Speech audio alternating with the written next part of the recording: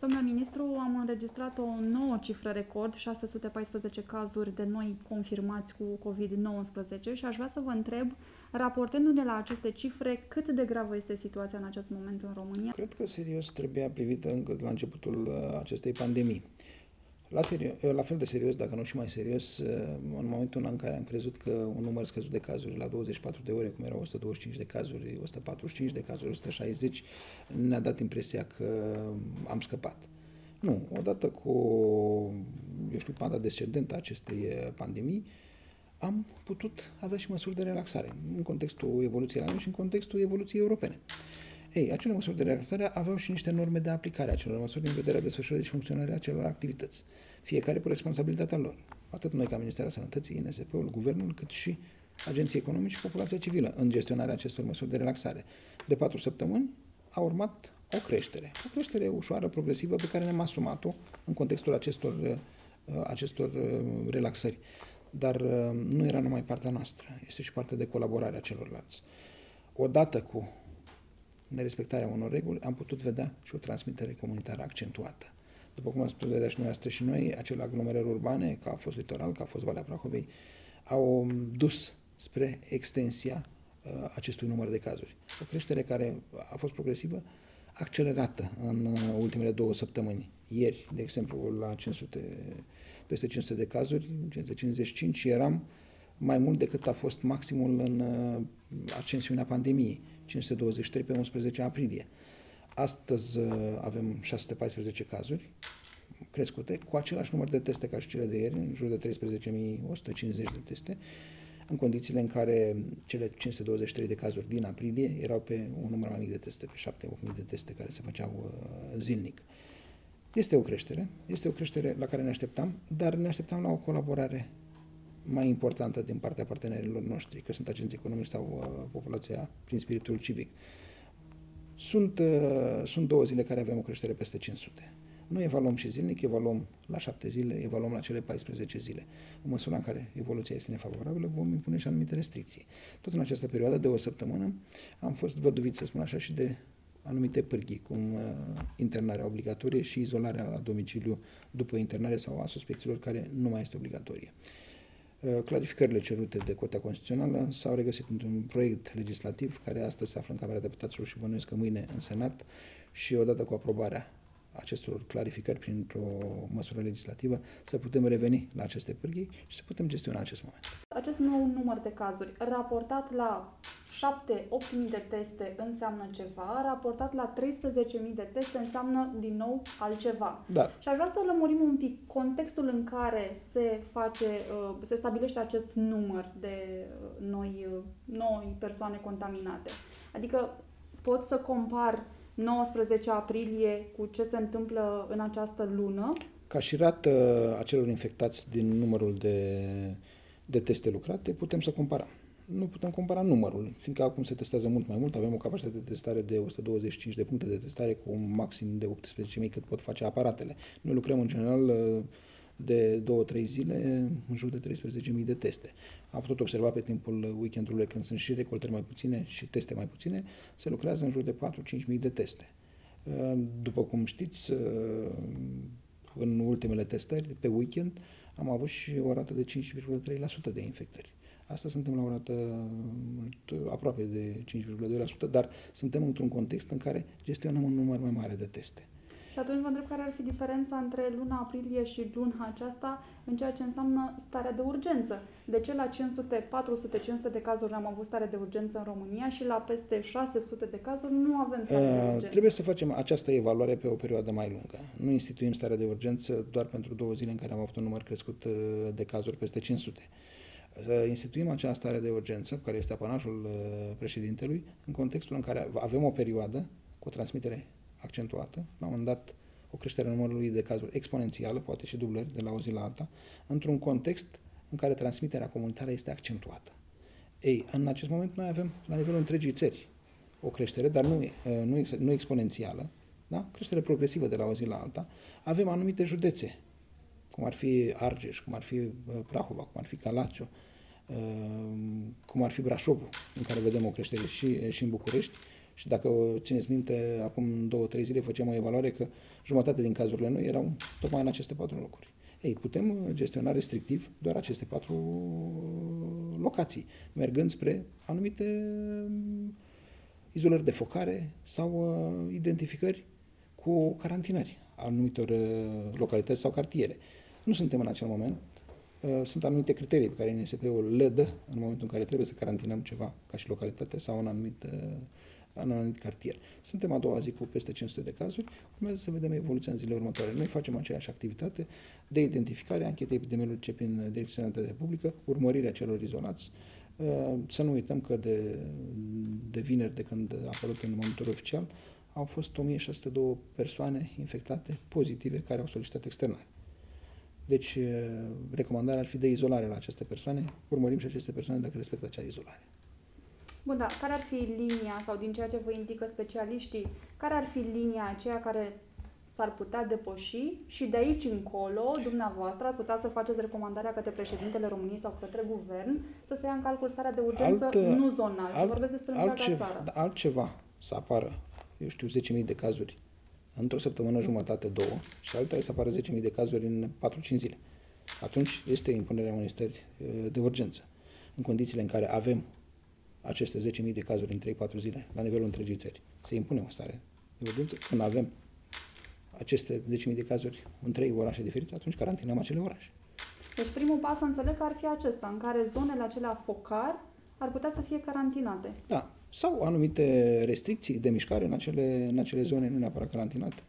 Sau, uh, dacă ele, aceste focare confluează anumite regiuni care pot fi carantinate. Dar la fel, uh, evaluăm fiecare caz în parte, fiecare focare în parte, fiecare închetă în parte. Ele sunt cele care dau măsura uh, următoare în vederea um, restricționărilor. Vreau să vă întreb despre litoral și despre zonele montane pentru că avem un uh, flux mare acolo de, de turiști veniți din toată țara, tocmai asta cred că ar putea să ridice o problemă. Uh, sunteți, nu știu, mai atenți la aceste zone și vă gândiți că e foarte posibil ca ele să devină niște zone care ar putea să fie primele izolate sau carantinate și ce mm. faceți cu turiștii? Nu neapărat. Gândiți-vă că turiștii sunt cei care vin, se infectează și transmit în localităților de baștină. Degeaba izolăm noi acele localități în care ei se întâlnesc două, trei zile și până se întorc la domiciliu, fiindcă simptomatologia apare un pic mai târziu, transmiterea se poate face pe perioade de până la 10 zile.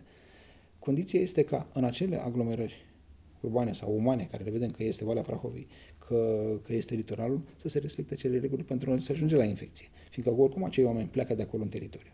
Degeaba izolez eu sau carantinez Valea Prahovei sau, sau litoralul, fiindcă acei oameni vor pleca către localitățile lor și o face transmiterea accentuată în, în localitățile de unde vin ei. Nu. Regula este respectarea acestor precauții și principii. Distanțare fizică, portul măștii în interior, în mijloc de transport în comun, uh, dezinfectantul, grijă la spațiile comune, dar în general respectarea acelor norme de deschidere a acelor activități economice care s-au permis în cele trei măsuri de relaxare. Noi am evaluat și am uh, elaborat acele măsuri de relaxare, tocmai în contextul în care aveau și normele de aplicare, dar aveau și măsurile restrictive care puteau interveni în momentul în care se întâmpla ceva nefavorabil. Deci, regula nu este carantinarea litoralului sau carantinarea Văii Prahovei. Regula este respectarea unor reguli pentru a nu face acea transmitere și plecarea celor infectați către zonelor de baștină. Și dacă ele nu sunt respectate, pentru că am văzut cu toți imagini de pe litoral, de exemplu? Vom întăți acele controle La ce? în următoarea perioadă. La controle și dincolo de controle? suspendarea activității. Și agentul economic și în timpul 2 și pentru populația care nu le respectă. Pentru că purtarea măștii, de exemplu, s-au făcut și studii, românii, 40-50% dintre ei, ori nu știu, ori nu vor să poarte corect masca, de exemplu. În uh, primele săptămâni au, s-a mers, noi nu vrem să devenim un stat polițienesc. În primele săptămâni s-a mers pe acea avertizare, pe acele avertismente care erau date atât agentului economic cât și populației civile. În contextul nerespectării va urma o perioadă când se vor aplica și amenzi. Eh, noi așteptăm această lege să iasă din Parlament, sperăm să fie, să se întâmple mâine, în care avem, eh, au acolo și niște contravenții și amenzi. Aceste modificări erau și, se regăseau și înainte, în legea 95 sau în eh, ordonanța de urgență a Guvernului 11 pe 2020.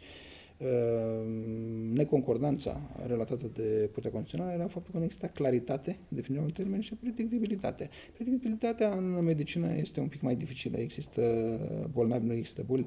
Manifestarea bolii ține de fiecare pacient în parte de patologiile coexistente și evoluția este ca atare.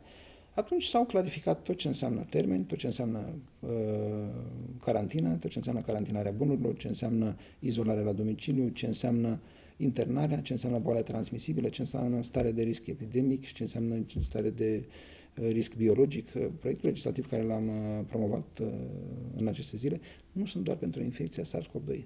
Pentru orice stare uh, pandemică se poate impune că este biologică sau uh, epidemiologică. Și atunci a trebuit să statutăm niște termeni, să fie trecut într-un proiect legislativ, ca să nu mai poate fi contestat, să existe claritate, de, de, de acest fapt se află și în uh, Comisia Juridică și uh, se insistă mai mult pe acești termeni pentru a crea cadrul legislativ. Atâta timp cât vom avea aceste pârghii. S-a definitivat uh, și o explicație clară a ce înseamnă epidemie, pandemie, când se declară, cine declară. Uh, știți că Curtea Constituțională spunea că nu e de ajuns un ordin de ministru să declară o epidemie sau să reclame izolarea și carantina. Și atunci uh, proiectul legislativ le va contura uh, statutând ce există înainte, dar dându-i uh, puterea de lege. Și atunci putem uza de aceste instrumente. Ce se va întâmpla cu românii care nu vor respecta carantina sau izolarea impusă dacă această sunt, nouă lege Sunt va fi acolo adoptată? și anumite, anumite uh, contravenții. Uh, Să vedem cum va ieși legea din Parlament și acele contravenții vor fi aplicate. Se vorbeau, vorbeau cei din PSD, de exemplu, chiar astăzi au ieșit în spațiul public o declarație că se dorește confiscarea bunurilor, în speță făceau referire la mașini, dacă acestea sunt contaminate. Nu, Și aș vrea să carantina, clarificați carantinarea bunurilor nu înseamnă confiscarea. Da? Carantinarea bunurilor înseamnă depozitarea într-un anumit spațiu, dezinfecția lor și pentru a fi decontaminate. Și în spațiul cui se va face această carantinare și după cât timp îl va putea ridica omul respectiv? Uh, Dacă ai intrat bunul în uh, izolare sau în carantină, și persoana va intra în acea izolare. După terminarea izolării își va putea recupera acel bun. Și ce se întâmplă în cazul pacienților asimptomatici care refuză tratamentul medicului? Uh, uh, Tratamentul este asumat de către, de către pacient sau nu. Nu este nimeni forțat să ia acel tratament. Dar izolarea trebuie să respecte. Pe baza cifrelor pe care le aveți în acest moment, ce recomandare ați face dumneavoastră ca ministru al sănătății către Parlament, către președintele României în primul rând și către guvern? Privind această statistică, numărul de cazuri care Să crește de la o zi știți la că alta. um, și guvernul și președintele României știu exact starea de fapt, fiindcă noi avem discuții și informări uh, în fiecare zi, în fiecare oră. Recomandările nu sunt către ei, recomandările sunt către populație, recomandările sunt către Parlament, să avem cât mai repede acele pârghii în care să putem pune în practică o activitate medicală pe care ne cunoaștem foarte bine. Când am fost lăsați să decidem, evoluția a fost favorabilă și ne-am achitat uh, de această datorie față de sănătatea poporului român. Când au apărut neconcordanțe uh, în uh, interpretarea Curții Constituționale, atunci uh, ne-am simțit văduviți de anumite pârghii și n-am putut să ne desfășurăm activitatea chiar în condiții normale. Putem vedea și rezultatele. Eu sper că odată cu noua lege care va trece de Parlament și va fi promovată de președintele României, să putem reveni la acea, la acea stare în care să ne putem noi, ca și corp medical, desfășura activitatea normală, inclusiv cu acele uh, izolări la domiciliu, precum și cu obligativitatea internării într-un context pandemic a unei boli transmisibile. Noi nici n-am terminat valul, uh, primul val, da? S-a observat o recrudescență a creșterii numărului de cazuri. Asistăm, dacă vreți, la o a doua cocașă a primului val sau ne apropiem de un al doilea vârf tot din uh, primul val. Și valul 2?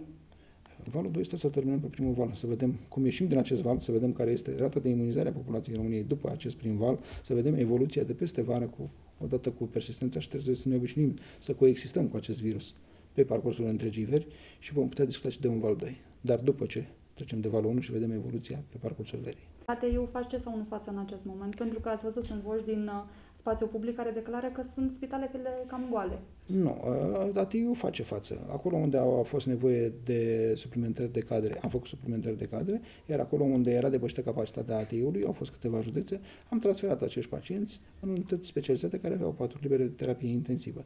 Problema uh, nu este deloc în acest moment, mai ales că sunt foarte mulți pacienți uh, uh, infectați COVID care au solicitat externare. Uh, Problema este de dezamăgirea personalului medical, care își văd zădărnicită o muncă de patru luni de zile. Atât prin lipsa unor unelte cu care să-și poată desfășura activitatea, dar și prin lipsa de înțelegere a respectării unor măsuri de prevenție. E mai ușor să previi decât să tratezi. Iar uh, când crezi că ai rezolvat o treabă și totul mergea foarte bine, să vezi că cineva îți zădărnicește această treabă, uh, credeți-mă că nu, nu ți este bine. Da, știți că președintele a declarat că ATI se apropie de o limită a numărului de locuri. Da, noi trebuie să gândim că avem 240 de cazuri în terapie intensivă. Uh, terapia intensivă este cea care, uh, să spunem, trepidează la un moment dat. Dar noi ne pregătim să gestionăm și o altă patologie, nu doar patologia COVID. Deci nu trebuie să gândim că tot ATI-ul ăsta care îl avem este pentru patologia COVID. Este și pentru patologia non-COVID. Haideți să lăsăm să fie tratați și ceilalți care nu sunt COVID, iar locurile pentru patologie COVID au fost niște locuri limitate pe care le-am păstrat. Ă, terapia intensivă în general nu este limitată ca locuri în acest moment dacă avem o urgență, dar luăm din locurile celorlalți care vin să se trateze după o anumită perioadă, chiar dacă nu sunt ă, urgențe în acest moment, dar vin pentru intervenții chirurgicale programate, au, un loc, au nevoie de un loc în terapie intensivă după ar trebui iar să reintervenim pe limitarea acelor patologii, să păstrăm locurile doar pentru patologie COVID. Da, pentru patologia COVID avem nevoie de o aparatură specială până la urmă. Aceeași aparatură se folosește și în uh, patologia non-COVID. Aceleași ventilatoare și postoperator și o insuficiență respiratorie se poate găsi și în context COVID sau și în uh, context non-COVID. Orice patologie broncopulmonară poate decompensa la un moment dat și uh, avea necesar de ventilatoare. La Colentina ce faceți? Ieri a fost, uh, s-a dat aviz de sănătate publică ca această unitate să devină și, patolo- uh, și unitate pentru patologie COVID și non-COVID. După cum ați putut vedea, acolo chiar managerul acelei unități este infectat COVID în acest moment. Deci, uh, după cum putem vedea, și în contextul creșterii numărului de cazuri, avem în continuare nevoie de uh, spitalele de suport non-COVID. Dar acolo unde acest număr de cazuri este mic, se poate uh, găsi soluția ca aceste cazuri să meargă către celelalte spitale de fază 1, fază 2 sau să existe un corp pavilionar separat în care aceste cazuri COVID să fie pe circuit separat tratate, iar spitalul mare să redevină pentru patologia non-COVID. Deci rămâne cu ambele linii deschise. Da, rămâne cu ambele linii deschise. A primit și avizul de la DSP ieri. Sunteți atenți la ce se întâmplă la Unifarm, cu anchetele care au loc acolo? Acolo este atent DNA-ul. Noi trebuie să fim atenți la ce se întâmplă în Ministerul Sănătății, la ce se întâmplă în Institutul Național de Sănătate Publică, la care este evoluția acestei pandemii și la sănătatea românilor. Sunt 8 state din Europa care deja au impus anumite restricții României. În condițiile în care vom crește ca și număr de cazuri și vom avea acel indice cumulat la 100.000 de locuitori uh, cu o valoare mare, pot fi și altfel de interdicții pentru, sau restricții pentru cetățenii români.